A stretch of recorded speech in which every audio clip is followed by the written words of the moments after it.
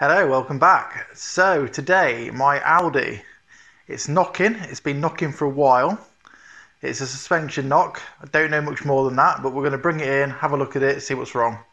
I've got a new drive shaft I want to fit and I've got a strut top I'm also going to fit just because it was £16 and I thought it was worth a go, but we're going to bring it in, have a look and go from there.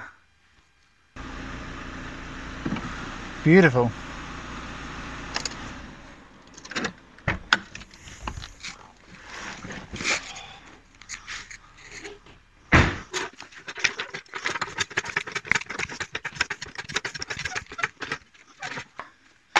So it's jacked up. I've got an axle stand underneath the subframe. It's now time to take wheel off.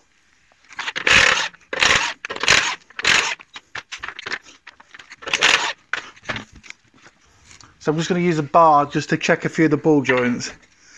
Now, not that you can't really tell, but these were actually replaced a few months ago um, because I had the issue at the time, and I, a lot of the bushes and you know the bushes and the rubbers looked a little bit deteriorated, so I thought I'd change them as a common problem. Uh, however, it didn't really fix the noise. And if I'm honest, it's actually got worse. So the noise isn't consistent as either. It's it kind of comes and goes. I can't always make it do it, but when it does do it, it's bad. But I've looked a few times now. I've never found anything wrong with it. Never, nothing obvious anyway. So I'm, I'm kind of getting to the point where I'm a little bit unsure what's wrong with it they all look good. So what I'm going to do, I think I'm going to take the brakes and that off and investigate a little bit further, just make it a little bit easier to see.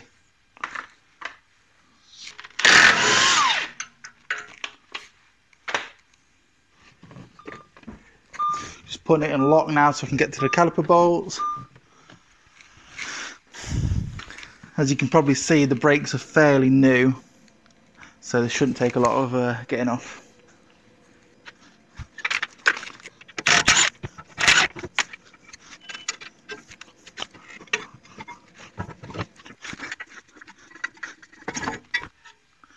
Again, I'm going to take this cover off purely for the fact I can't see a great deal. It'll help me to see and it'll help you guys to see what I'm doing. Now, it's been off fairly recently, so again, it should all come out quite easily. One interesting point to make is the UK roads are obviously salted, and this was wire wheeled what, three or four months ago to a, I wouldn't say a mirror shine, but very clean aluminium shine. Look at all the corrosion on it already. It's amazing, really. So, it doesn't do our classic cars any favours, this, this salt.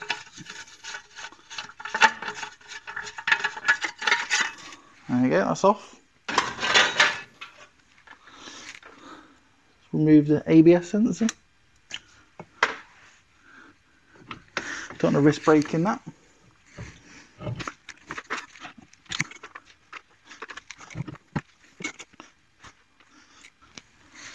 So the knock sounds like a ball joint to me. It's got like a very strong metallic clunk. I just can't replicate it. Very frustrating, but these Audis have got quite complex multi-link suspension systems. So there's a lot to go wrong if you know what I mean.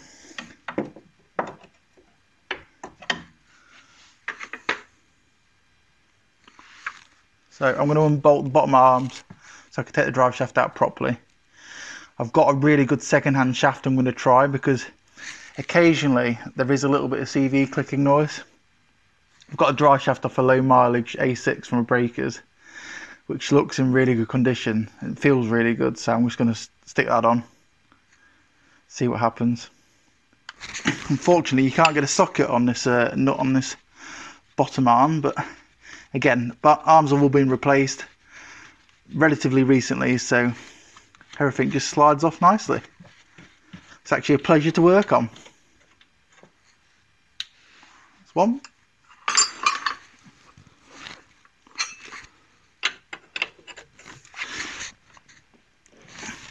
Obviously you can get a, uh, a socket on this one, however, they're so easy to get off, I can't really be bothered. At that beautiful. Now the inner CV joints on these bolt on, which is quite handy because you don't lose any oil. Quite a good design, I like it. Some people don't, but I do. So it's an M10 spline socket. Away we go. You know what? I've got this, I might as well use it.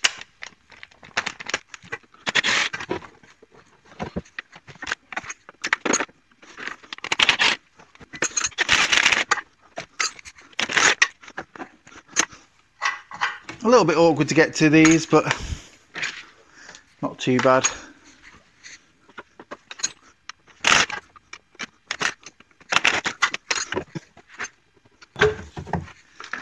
So that end is now off.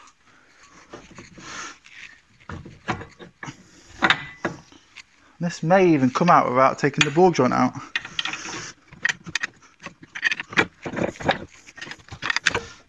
And it will. Now I've got this out, I'm going to be honest, I'm not convinced that's the problem. Inner CV joint's not very old, it is a cheap one. It's got a little bit of play in it. But nothing too serious. Outer, again, the same. So I'll put the other one in because I've got it, but again, I'm not convinced. Which is rather upsetting. Because it means we're back to the drawing board a little bit. So if you guys have got any idea what this could be, knocking noise, which is relatively intermittent, tends to do it low speed in a little bit of lock, and it really does sound like a loose ball, ball joint. I mean, I've had a lot of um, a lot of Novas and stuff over the years, high powered Novas, and the bottom ball joints sometimes come loose in them because they bolt on, and it's kind of got that kind of noise and feel about it. So yeah. Really not sure. I'm hoping to see some signs of rubbing somewhere because it's definitely a metal on metal noise. It's a quite a loud distinctive clunk when it does it. That's the problem when it does it.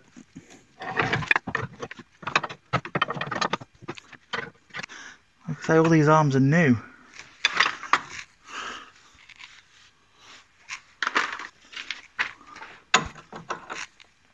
Like I said, I've got a brand new strut top to also try. It was £16 for a Febi Bilstein one, so really cheap. And worth a go. Not convinced, but sometimes you've got to rule these things out.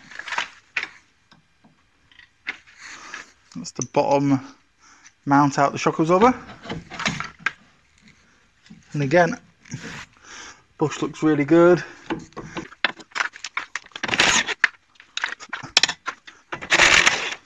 The Bolt of Doom. These tend to break. When I did the arms last time, the bolt broke. I spent about five hours trying to get the bolt out. Not fun. But I did get it out and I've managed to get a new one and we're good again. But again, all them ball joints feel really good. They're obviously clearly tight in there, so it wasn't that. So whenever I build things like this back up, I always use plenty of copper slip just to help lubricate things and stop things from seizing in the future. So uh, it's a good little tip and it's always worked for me. Some people say, oh, if you put too much on it, you know, you could get problems, but personally, I've never experienced it. Um, nothing's ever come loose that's been torqued up properly. But I have been to things years later, for example, my Nova, and uh, the bolts just fall out when you want them to obviously.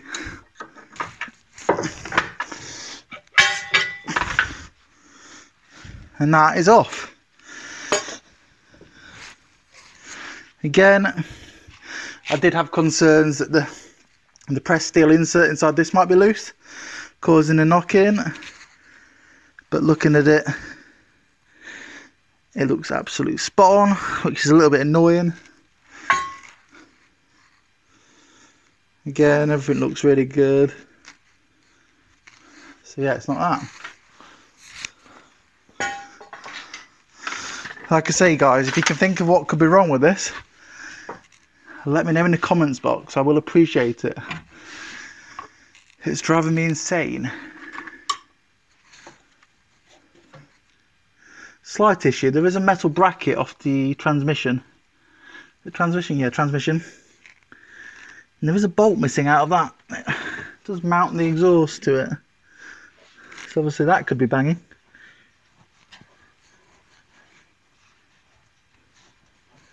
I think that is. Hmm.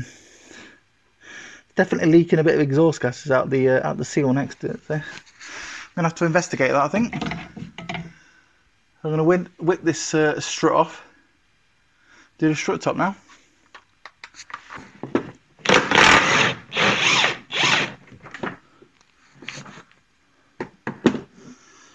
And that should be free.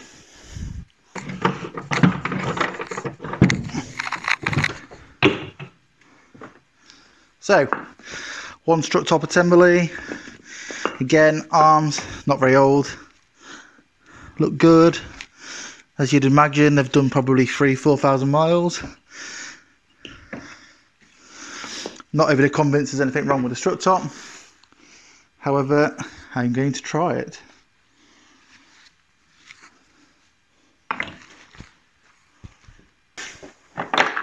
So I've got my trusty, faithful I think 60 pound eBay spring compressor.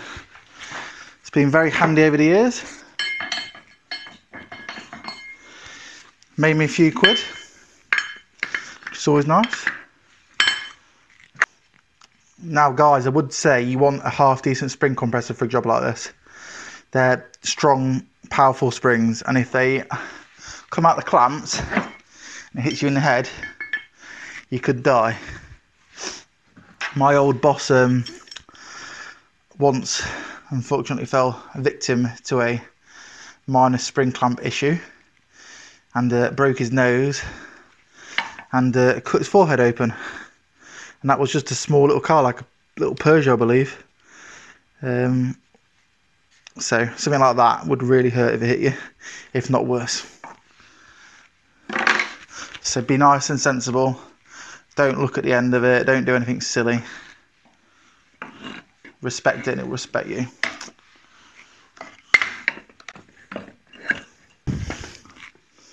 That's in quite well.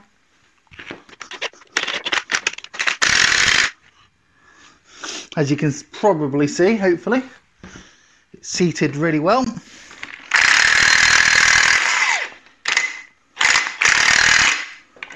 You literally wind it up till there's no weight on the top.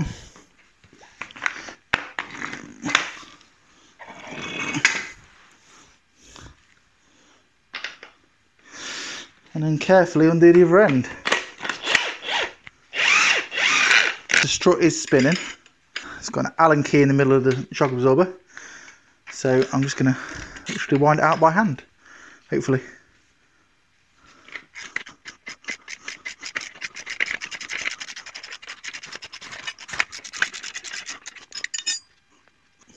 Now it's off. Would I say it's knackered? No, I wouldn't. Unfortunately, looks in pretty good condition.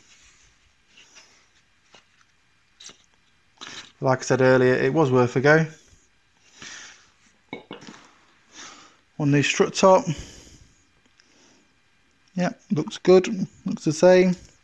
As you can see, it's a Febi Bilstein strut top, so it's OE quality uh, I've actually had these before where they've had the Audi part number written on them and the last few digits being crossed out. So it says a lot, doesn't it?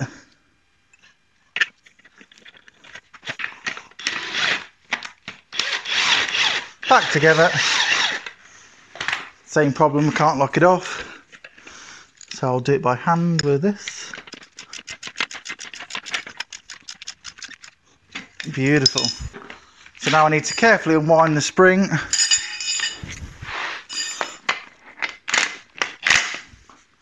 Make sure it goes back in the location marked, which may be easier said than done.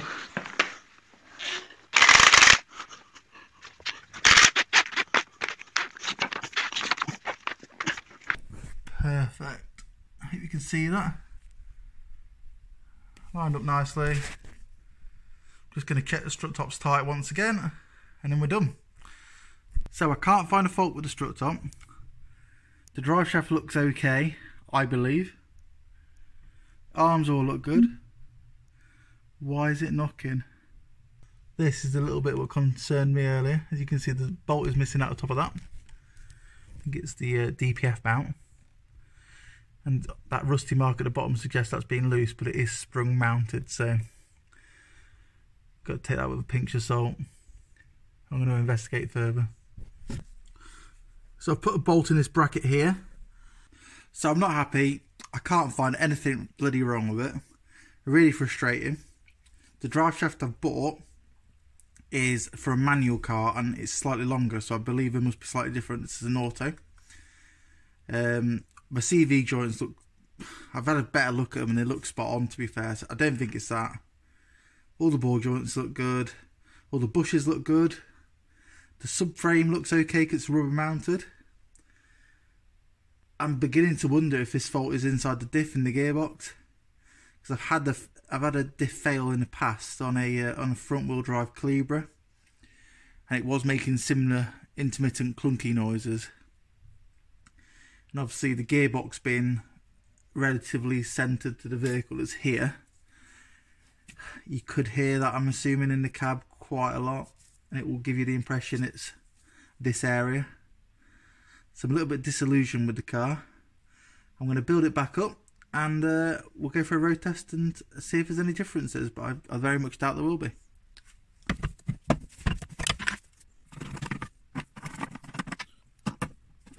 Right. Strut is now in. Now it's time to put the clamp bolt in, put the upright in, obviously connect all the ball joints back up, brakes back on, and it's ready for a road test. Nice and tight. A little bit fiddly to get these in. As you can see, there's quite a lot of stuff to line up. However, persistence pays off and you get there in the end. I'll put a little bit more copper grease in these. It's not the kind of thing you want to seize up. I know, because I've done one or two. That's it. Beautiful. Wasn't the uh, best design of ours, is this pinch bolt. The fact it goes through two ball joints makes it quite difficult to uh, get out in case it seizes. Obviously, this is aluminium, that's steel. The two naturally corrode when you put them together. So yeah, it wasn't the best idea. But hey hey. I forgive them. Nice and tight. That's that back in.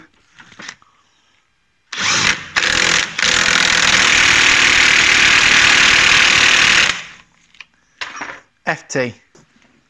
Lower ball joints.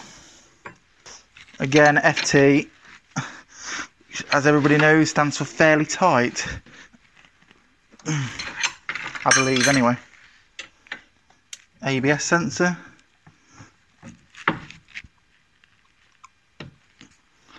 And the mount for it. And it's time for the back plate. Perfect. Brake disc.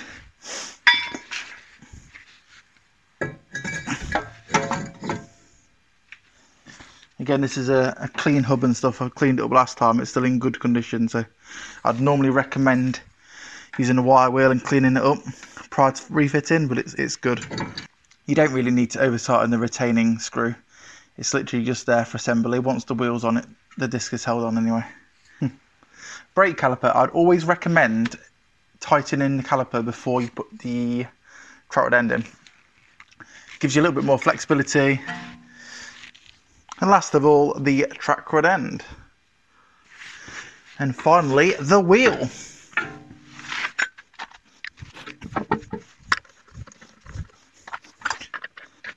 And this should be torqued up to 110 newton meters.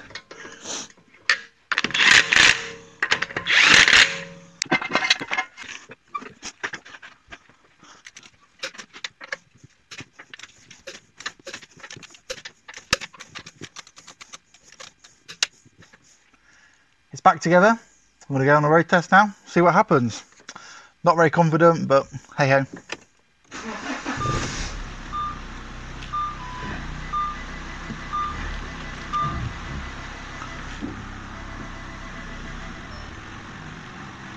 Right guys, so I'm back from the road test. The clunking noise has gone. However, it always seems to go. When I jack the vehicle up, if I pry about with the suspension, jack it up, put it back down, the noise always seems to disappear for you know a few miles. So I'm not 100% convinced it's fixed. However, as you can see, the strut top was worn. There is a little bit of wear around the edge. Not 100% sure that's the fault, but there is some wear. So you know, I'm not saying it needed it, but you know it may help. So like I say, been for the road test. I've tried all the normal stuff. I've driven it hard, driven it slow, lock to lock, you know, all, all the usual stuff. It hasn't clunked once. So I am going to say it's fixed for now, but I'm not sure. so if you think you know what's wrong with the car, please leave a comment in the comments box below. I would appreciate it. I'm at my wit's end with the car, if I'm honest. I've done quite a lot of work to it and it just seems to be kicking me in the teeth. So yeah, let me know what you think was, is wrong with the car. And if the fault does reoccur, I'll let you know. If it doesn't, I'll also let you know. So anyway, thank you for watching. I hope you enjoyed. Goodbye.